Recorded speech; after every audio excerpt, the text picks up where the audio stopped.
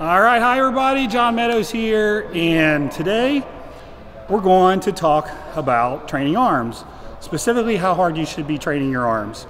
There's uh, some nuances, it's a little different training your arms as compared to training, say, your legs or your chest. So that's what we're gonna do. How hard should you train your arms? Let's get to work. All right, so the first thing I wanna cover is, and it's, um, it's simple, but it's, it's very important. What should you train first? So should you do your biceps first or your triceps first? And this is key to how hard you should train. If your elbows take forever to get warmed up and they're pretty fragile, I would suggest first of all training your biceps because then when you go to train your triceps, you'll do a couple sets and the blood will move in there and your elbows will be warmed up quick. And probably most of you have done that and you're like, oh wow, it's amazing how quickly they're warmed up. If you tend to have problems with your elbows here, you know, tendonitis, uh, medial epicondylitis, lateral epicondylitis, if you get like a lot of inflammation there and it takes forever to warm up, then train your triceps first because then when you go to train your biceps, the blood will go in there and it'll be warmed up real quick. So that's something that relates more to health, but it's hard to train hard when you have all this pain and it takes forever to warm up. So for me, it takes me longer to get my elbows warmed up. If I start with triceps, it literally takes me seven, eight sets before they feel good. So I go ahead and I train my biceps first, which is what I'm going to do today, and then triceps. Now we're going to cover some other ideas today, you know, alternating a bicep and tricep exercise, but that's just one little key thing I wanted to point out. Um, now, so we're going to go to our first exercise, and it's going to be a regular barbell curl. You can use an EZ bar. Actually, I'll probably use a straight bar, but you can use an EZ bar, whatever feels good on your wrist. So here's one of the differences. When you train your biceps, I do not believe in trying to curl massive amounts of weight. Um, if you saw my leg video, we did squats. If you saw my chest video, we did uh, incline barbell press, and I talked about working up and getting a little stronger and a little stronger, more reps. I'm not so confident about that on biceps because so many people get tendonitis in their arms. You talk to anybody who's trained their biceps really, really heavy, they're going to tell you eventually it got to the point where it's just tendonitis. I would much rather you use a moderate weight, use very strict form, maybe a little cheating at the end, but basically very strict form that you can control. And the idea is to now pump the blood in there. So, like with a compound movement, what do I always tell you guys? I tell you to take three minutes between your sets, take your time so you're strong. I don't want you to use that approach on biceps. I don't want you to do a set of curls and then you just sit there for three minutes. What I would rather you do is pick up the pace, uh, moderate weight, a minute between your sets. Okay, so that's kind of number one. So we're going to go ahead and start curling, but that's the first thing I want you to think of. Okay, with biceps, now I'm going to lighten up the weight a little. I'm going to pick up the pace because I want to jam a lot of blood into the muscle. Okay, so I'm good and warmed up here. I'm to start with this curl. I'm going to be doing somewhere on 8 to 10 reps. Um, again, it's a moderate weight. I'm only going to take a minute between sets. Um, in terms of how close you should be to failure, you know, I would say right at that right at that line. Um, it's moderate weight. You're not slinging heavy weight, so I'm a little more inclined to go closer to failure. So it'll be failure or a rep short of failure. Um, try to keep really good form. So don't be don't be afraid of getting real close to failure on these. Okay, and we're doing three sets. So three sets where we get pretty close to failure. Ugh.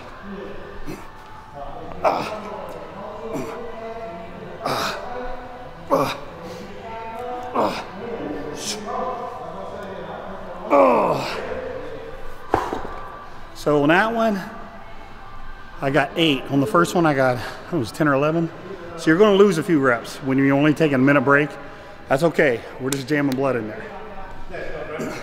Why don't you get a couple? Uh,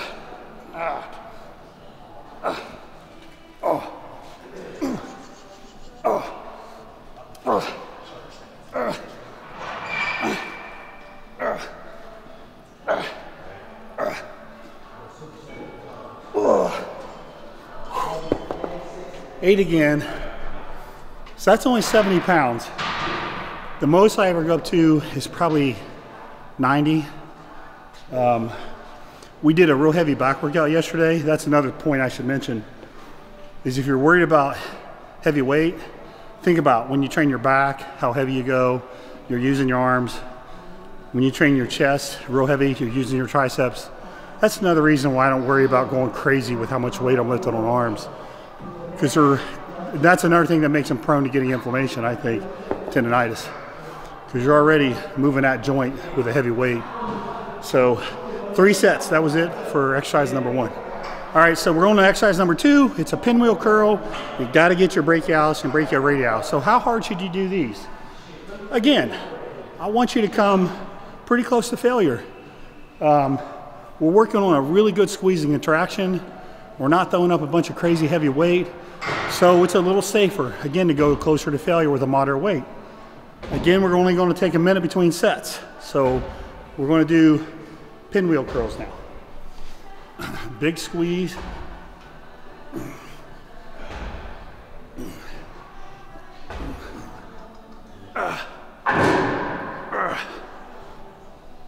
Okay, so pretty much failure. 30 or 60 seconds. See, we're going at a real fast pace. We're pumping them up.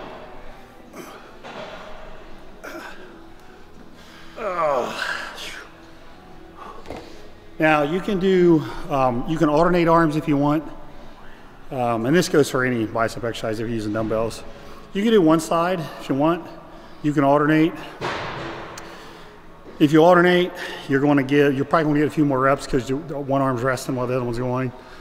But the other side is if you're doing them all at once, probably a little bit more tension, a little bit more pump and blood flow. Either way is fine, as long as you're coming close to failure, which is what we're doing here. All right, so now we're on our third set here. Now, the high intensity techniques, how hard do you go? Well, I like to throw it in on the last set, uh, the second exercise usually. So you're gonna go to failure, and they're gonna hit some partials, so you're only come up halfway. It's gonna keep driving blood into the muscle, um, continue to create tension. So I'm gonna go to failure, then I'm gonna hit partials on this third set.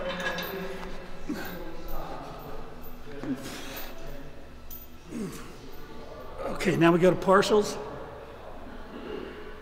Uh, uh, uh, six, six partials.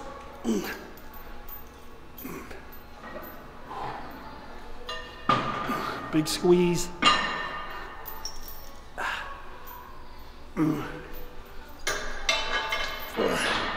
Partials. Oh, that's it.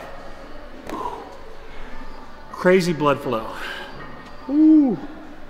That's what we want. We want tons and tons of blood in there. So the first two sets were pretty much a failure. The third set, I want you to add in a high intensity technique. So in this case, we're gonna do partials. So now your biceps should be pretty full blood and we're gonna move on to our third exercise.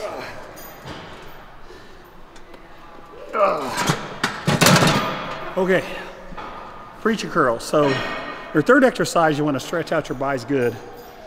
And as you notice, the weight's not real heavy. It doesn't need to be heavy. They're pretty fatigued. And I'm pretty much going to failure again. So it's a light to moderate weight. And we're going to failure. And even though I say lightweight, if you guys think about it, it's not really light because I can only get eight reps. So this heavy, moderate, light, it's all kind of relative, you know? to, to your state of fatigue at the time. So um, we're going to do three sets here now. Now, when you get to this third exercise, now I actually slow it down. There's a lot of blood in there. And when you're using an exercise that emphasizes the stretch, um, if you get tired, you, you lose all your reps. So we have to slow down now. Now we're taking two, three minutes on this exercise here because again, we're working the stretch. So um, slow it down now. Here comes our second set. Again, pretty much gonna go to failure.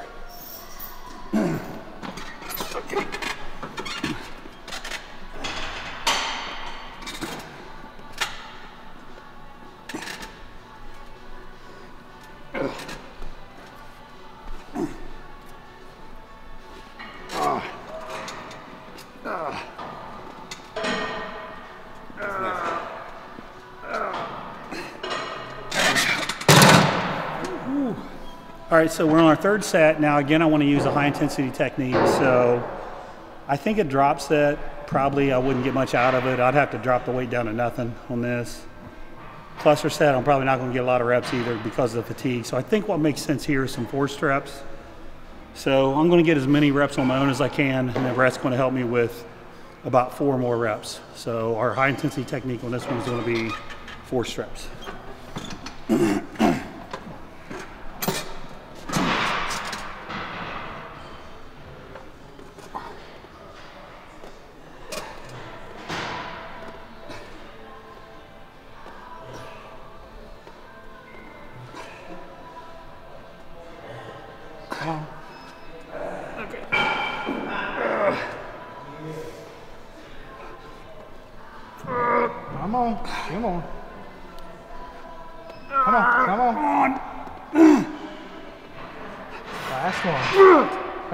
Come on, finish, finish. Nice and slow, slow. I was trying to go slow. so they are shot, they're fatigued. Whew, that was nine sets. Pretty much all of them were a failure. Two of them were beyond failure. That may seem like a ton, especially compared to other body parts. But remember, we're using moderate weight. We're not using some big compound exercise.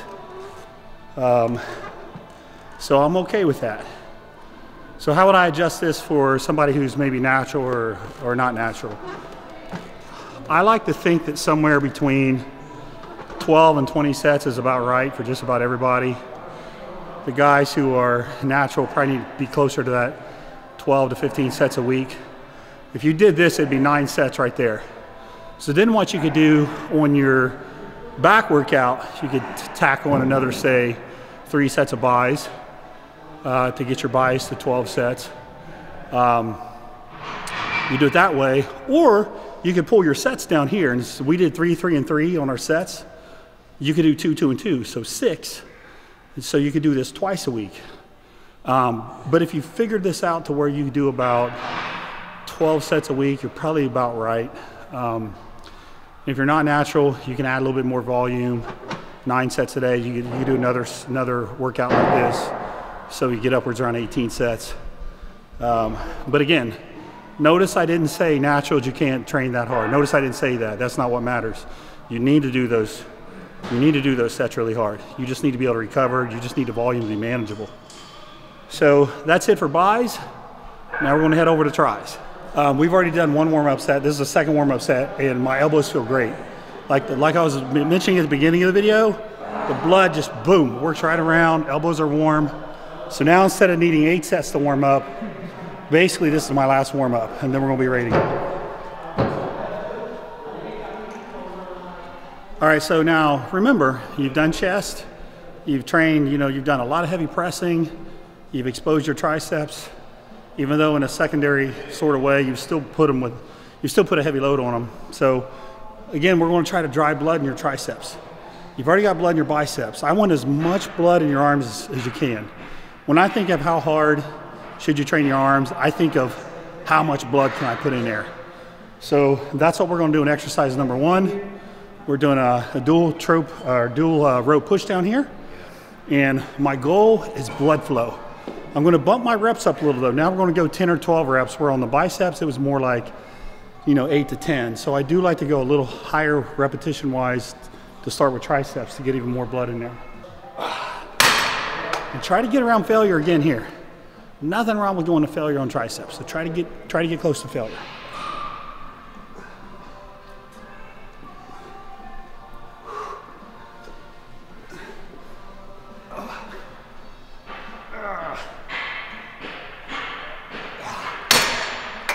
So I lost two reps, which is cool. When you're only taking 60 second breaks, you're gonna lose some reps, but we're still pushing the muscles, fibers really hard, going to failure.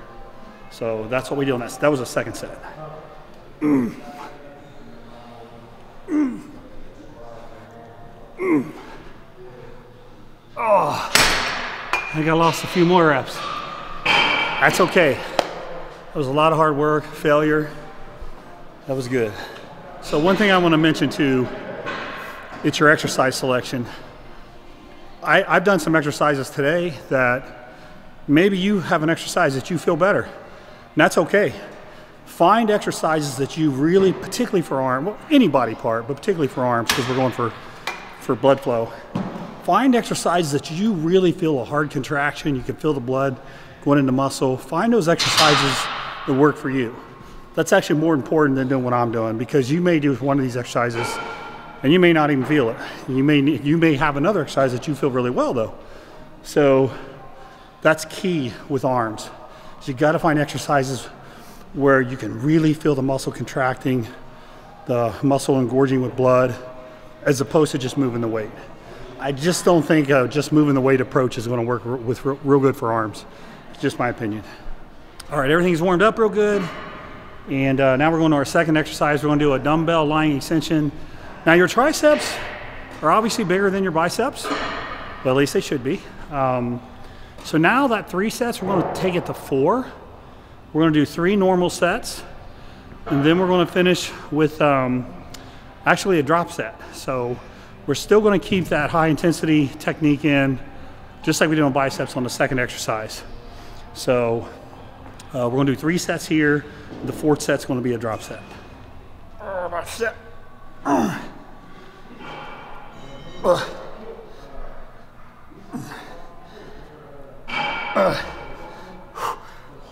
Uh. Oh, man.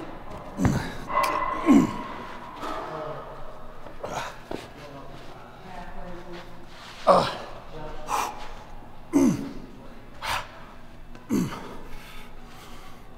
Oh, fire, baby. Woo. Oh.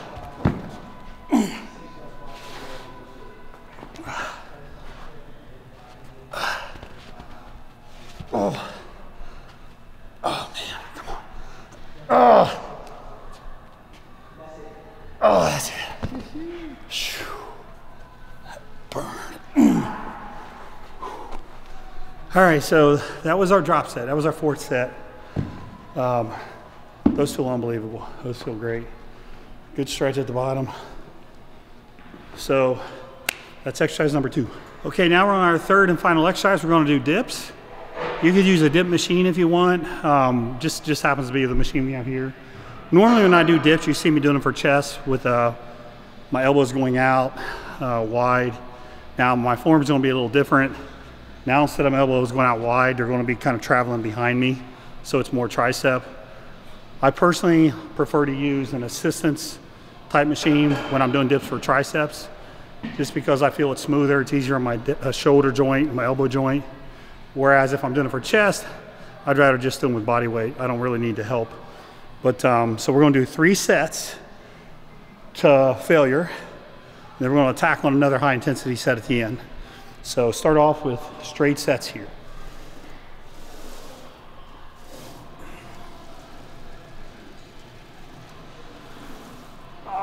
Come on. Damn. They're a little tough after that drop set over there. All right, so these are really tough, um, doing them last. You could have actually done these second and then those dumbbells we just did third, either way. Um, so the fourth set is gonna be a cluster set. I've only been getting six to eight reps, which is actually what I want uh, for your triceps on this exercise. So now we're gonna finish with a cluster set. We got three sets of about six, seven reps. Now I'm gonna get probably six, rest 20 seconds, get another three or four, rest 20 seconds, then maybe get another three or four. And uh, that should put the finishing touch on.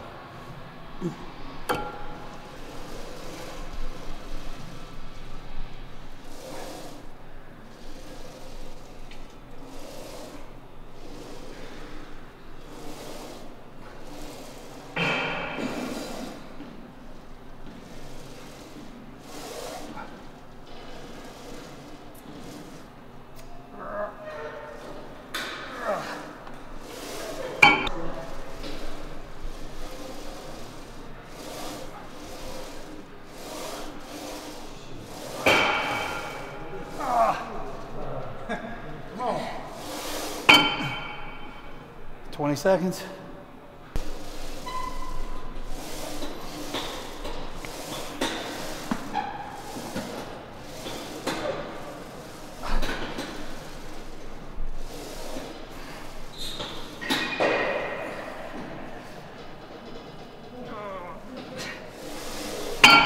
That'll do it. All right, so that's triceps. Uh, we did four, four, we did 11 sets for triceps. So for naturals, you're probably going to want to take out one of the working sets uh, for each one of those exercises, bring you down to about 11 sets, but we still want 14 uh, for the week. We know we said we wanted about 12 for biceps, we want about 14 for triceps, a little bit more. So that would leave you with three extra sets. Where do you need to put those? I would put those at the end of your chest workout. Get a little extra volume in.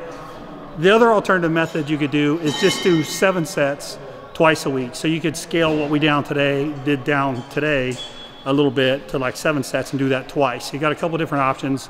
We're going to put them up here on the screen so you can see. Um, those of you who are enhanced, um, so you're going to probably want to go upwards from that 14 sets uh, that we did today. You're probably going to want to do something like 18, um, somewhere around in there. So you could do what we did, did what we did today, and then add on another four sets, say after you train your chest. Um, or you could just scale down the volume a little bit what we did today and just do that twice a week. Again, we're going to put it up here in a box after video so you can see it. You, you have a little bit more clarity on what we're doing. So if you like this, How Hard Do You Train series, make sure you check out the whole series. Um, we're going to put it up here in the box for you to see again. And as always, we appreciate you watching. And uh, we'll see you next time. Next week, I'm hoping to see all of you at the Arnold Classic. I'll be there walking around on Friday. See you there.